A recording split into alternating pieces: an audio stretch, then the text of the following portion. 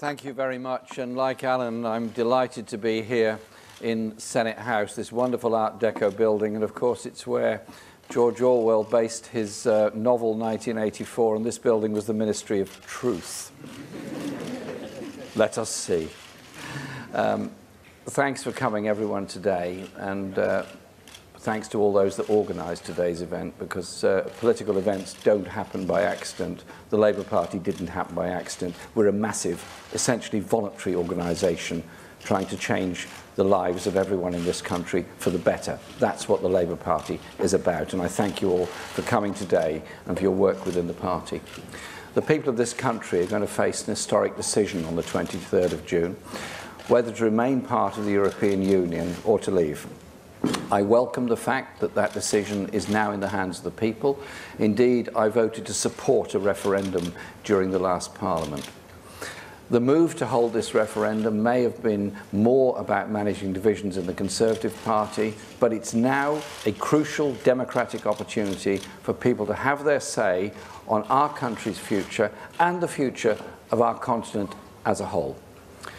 As Alan explained, the Labour Party is overwhelmingly for staying in because we believe the European Union has brought investment, jobs and protection for workers, consumers and the environment and offers the best chance of meeting the challenges we face in the 21st century. Labour is convinced that a vote to remain in is in the best interests of the people of this country. In the coming century, we face absolutely huge challenges as a people, as a continent, and as a global community. How to deal with climate change, how to address the overweening power of global corporations and ensure they pay fair taxes, how to tackle cybercrime and terrorism, how to ensure we trade fairly and protect jobs and pay in an era of globalization how to address the causes of the huge refugee movements across the world. There are now more people than at any time in recorded history who are refugees or asylum seekers or displaced people across the planet. And how we adapt to a world where people everywhere move more frequently to live, work and retire. All of these issues are serious and pressing and self-evidently require international cooperation. Collective international action through the European Union is clearly going to help meeting these vital challenges. Britain will be stronger if we cooperate with our neighbours in facing those challenges together. Portugal's new pri socialist prime minister and a good friend, Antonio Costa, said this. In the face of all these crises around the world, we must not divide Europe, we must strengthen it. When the last referendum was held in 1975, Europe was divided by the Cold War, and what later became the EU was much smaller, purely market-driven arrangement. Over the years, I and many others have been very critical of many decisions taken by the EU, and I remain very critical of its shortcomings from its lack of democratic accountability to the institutional pressures to deregulate or privatise public services. So, Europe needs to change. But that change can only come from working with our allies in the European Union to achieve it. It's perfectly possible to be critical and still be convinced we need to remain a member. I've had a few differences with the direction the Labour Party has taken over the past few years, as some people may have noticed. But I've been sure that it was right to stay as a member of the party. I joined the Labour Party when I was 16, and I'm very proud of that. Some might say I've even managed to do something more recently about changing the direction of the Labour Party, and I'm enjoying that as well. In contrast, Four decades ago, the EU of today brings together most of the countries in Europe and has developed important employment, environmental and consumer protections. I've listened very closely to the views of trade unions, environmental groups, human rights organisations and of course to Labour Party members and supporters and fellow members of Parliament. They are overwhelmingly convinced that we can best make a positive difference by remaining in Europe.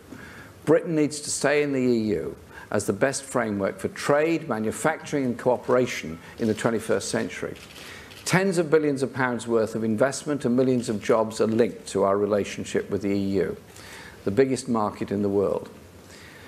EU membership has guaranteed working people vital employment rights, including four weeks paid holiday, maternity and paternity leave, protection for agency workers, health and safety in the workplace.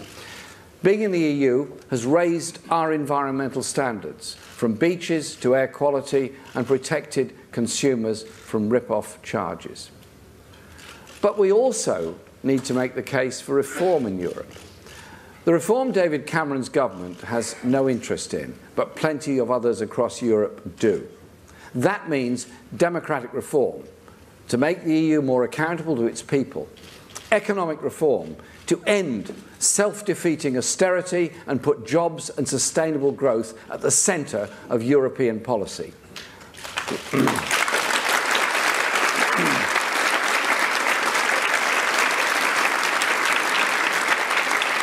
labour market reform to strengthen and extend workers' rights in a real social Europe. And new rights for governments and elected authorities to support public enterprise and halt the pressure to privatise services. So the case I'm making for Remain and reform in Europe. Today is Global Day of Action for Fast Food Workers' Rights. In the US, Workers are demanding $15 an hour. In the UK, £10 now. Labour is an internationalist party, and socialists have understood from the earliest days of the labour movement that workers need to make common cause across national borders. Working together in Europe has led to significant gains for workers in Britain, and we are determined to deliver further progressive reform the democratic Europe of social justice and workers' rights that people throughout our continent want to see. Real reform will, make, will mean making progressive alliances across Europe, something the Conservatives will never do and probably don't understand.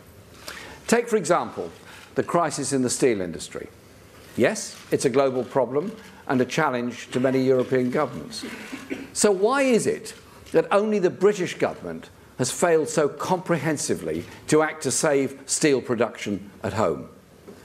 The European Commission proposed new tariffs on Chinese steel, but it was the British government that blocked those coordinated efforts to stop Chinese steel dumping.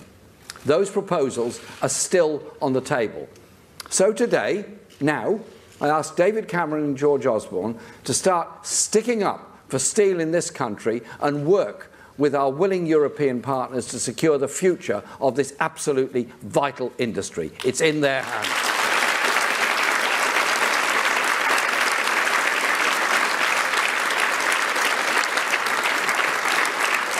There are certainly problems about EU state aid rules which need reform. But if as the Leave side argues, it is the EU that is the main problem, then how is it that Germany, Italy, France and Spain have all done much better at protecting their steel industries than the British government? Again, I say to David Cameron and George Osborne, act now to defend and support our steel industry. It is because those other countries have acted within EU state aid rules to support their industries, whether through taking a public stake, investing in research and development, providing loan guarantees, or compensating for energy costs. It's not the EU that is the problem, but the Conservative government here in Britain that doesn't recognise the strategic importance of our steel industry. For our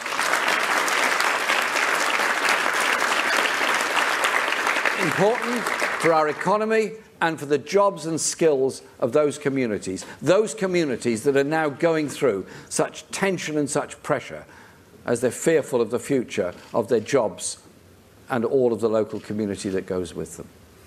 The Conservative government has blocked action on Chinese steel dumping. It has cut investment in infrastructure that would have created demand for more steel and had no procurement strategy to support our steel industry. A Labour government would have worked very differently with partners across Europe to stand up for steel production in this country. That is what a Labour government would do so differently to what this government is doing. The European Union has 28 countries and 520 million people. Could have made us stronger by defending our steel industries together. The actions of the Conservative government have weakened us. The jobs being created by this government are too often low skill, low pay, and insecure. If we harnessed Europe's potential, we could be doing far more to defend high skilled jobs in the steel industry, and that goes for other employers of high skilled staff too. Airbus, Nissan, they've made it clear that their choice to invest in Britain is strengthened by the membership of the European Union. Of course, the Conservatives are loyally committed to protecting one very, very important British industry, and you have to take your hat off to them for the massive defence they're making of this industry, and that is the tax avoidance industry.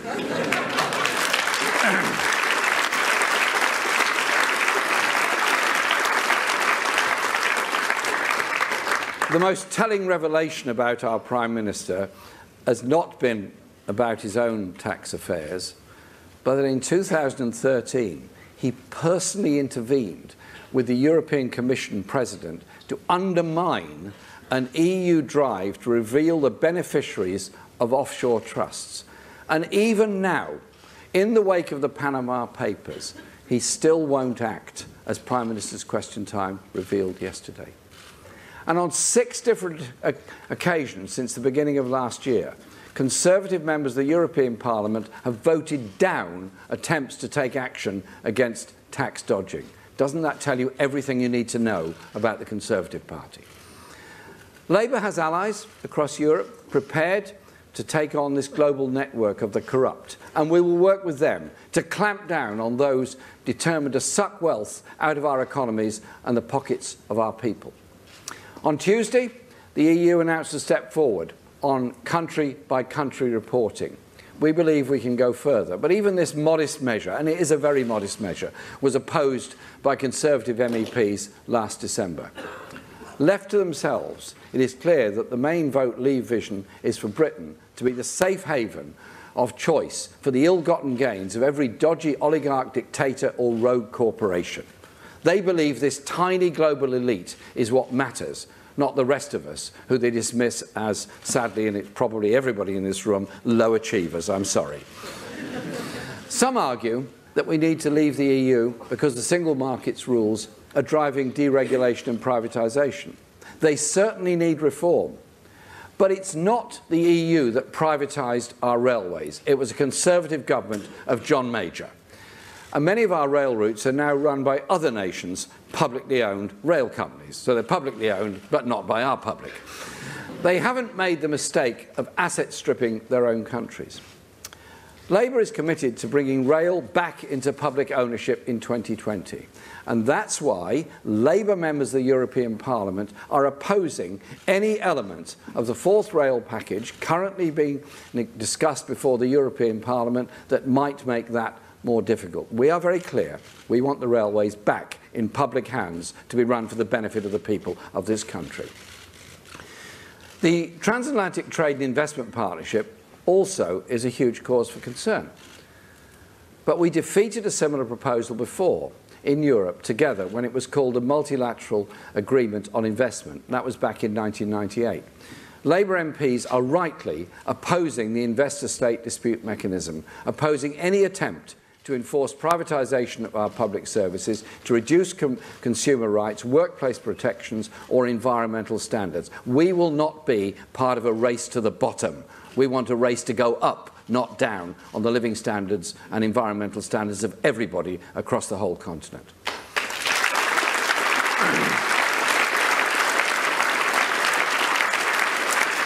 the the free market enthusiasts in the Leave campaign would put all those protections at risk. Labour is building alliances to safeguard them. We must also put human rights at the centre of our trade agreements, absolutely at the centre of them, not as an optional add on. We already have allies across Europe to do that. And, it, and the EU is vital for promoting human rights at home. As a result of EU directives and regulations, disabled people are protected from discrimination. Lifts, cars and buses need and must be accessible, as does sea and air travel. It was the Labour government that signed the Human Rights Act into UK law, that transferred power from government, not to Brussels, but to individual citizens to stand up for and defend their human rights. Human rights are global, universal, and have to be defended for all time. They're the rights that we've achieved for ourselves. Climate change is the greatest threat that humanity faces this century. And no country, Britain certainly not, cannot tackle it alone.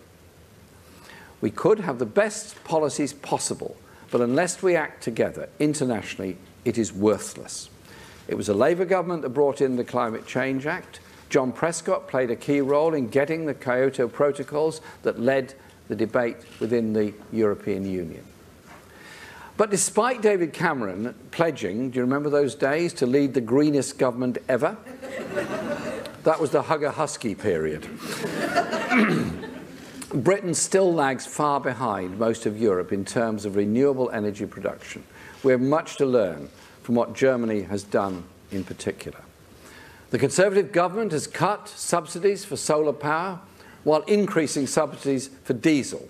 It has cut regulatory burdens, as they describe them, on fracking, yet increased regulations on onshore wind production. They say one thing but do another. Again, it's been regulations agreed in Europe that have improved Britain's beaches and waterways and that are forcing us to tackle the scandal of air pollution all over this country, including in this very city of London, which will, if not dealt with, kill 500,000 people in this country by 2025. We have to act on air pollution by enforcing those regulations. Working together in Europe is vital to tackle climate change and vital in protecting the environment that we all share.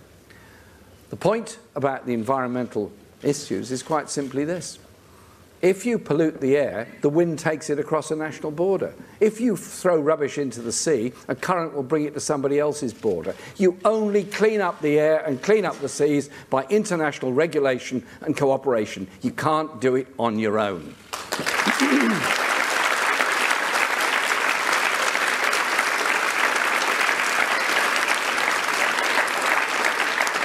There is no doubt debate about the EU membership in the next couple of months will focus strongly on jobs and on migration.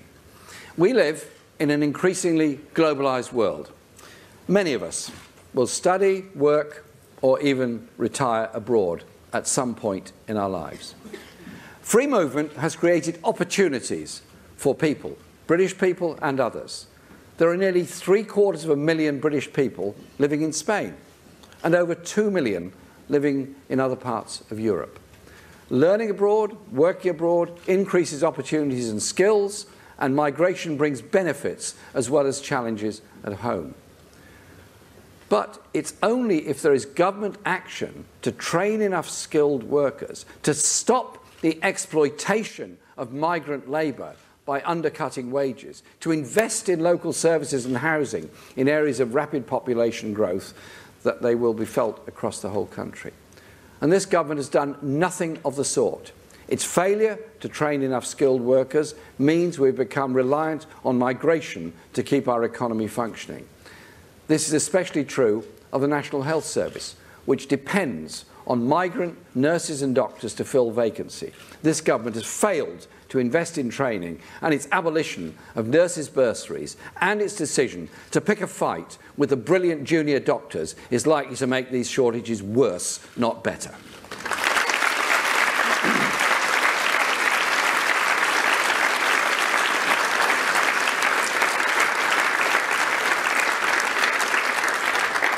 As Alan explained in his introduction, that both of us are trade unionists, and I used to be a full-time trade union organiser within the National Health Service as well as local government. And I value our NHS, absolutely, and I admire the dedication of all its staff. it is Labour's proudest creation. But right now, it would be an even, in an even greater crisis if many on the Leave side had had their way, some of whom have argued against the National Health Service and the very principle of healthcare free at the point of use for everybody. And of course, it's, an e, it's EU regulations that underpin many rights at work. Holiday entitlement, maternity leave, rights to take breaks, and limits on how many hours we can work. And that has helped to improve protection for agency workers. The Tories and UKIP are on record of saying they would like to cut back on EU guaranteed, guaranteed workplace rights if they could. A Labour government would instead strengthen rights at work, making common cause with our allies to raise employment standards throughout Europe, to stop the undercutting of wages and conditions by unscrupulous employers who want to achieve greater exploitation. We want to strengthen the protection of every worker all over Europe, not just in Britain. just, just imagine what the Tories would do to workers' rights here in Britain if we voted to leave the EU in June. They would dump rights on equal pay, working time, annual leave, agency workers, maternity pay as fast as they could get away with it. It would be a bonfire of rights that Labour governments have secured and trade unions have helped to secure across the whole of this continent.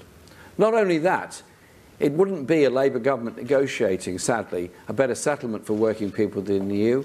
It would be a Tory government, quite possibly led by Boris Johnson and backed by Nigel Farage. Think about that.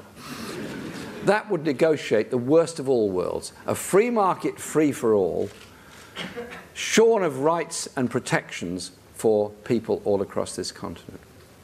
It's sometimes easier to blame the EU, or worse, blame foreigners, than face up to our own problems, at the head of which right now is a Conservative government that's failing the people of Britain. There is nothing remotely patriotic about selling off our country and our national assets to the highest bidder or handing control of our economy to city hedge funds and tax dodging corporations based in offshore tax havens. There is a strong socialist case for staying in the European Union, just as there's also a powerful socialist case for reform and progressive change in Europe. That's why we need a Labour government to stand up at the European level for industries and communities in Britain, to back public ownership and public services, to protect and extend workers' rights, and to work with our allies to make both Britain and Europe work better for working people. Many people are still weighing up how they're going to vote in this referendum. And I appeal to everyone, especially young people, who will live the longest with the, and have to bear the consequences for the longest, to make sure you're registered to vote and keep and vote to keep Britain in Europe this June. It is about your future. By working together across our continent, we can develop our economies, protect social and human rights, tackle climate change, and clamp down on tax dodgers. You cannot build a better world unless you engage with the world, build allies, and deliver change.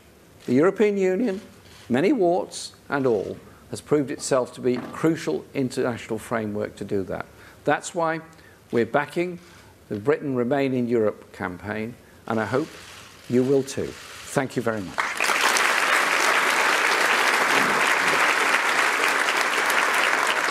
Stay here,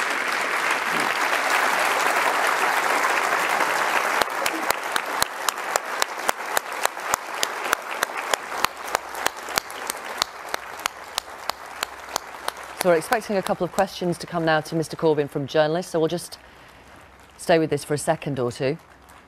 We've got some time for some questions. First of all, from the media, then from some members. Laura Kuenssberg from BBC.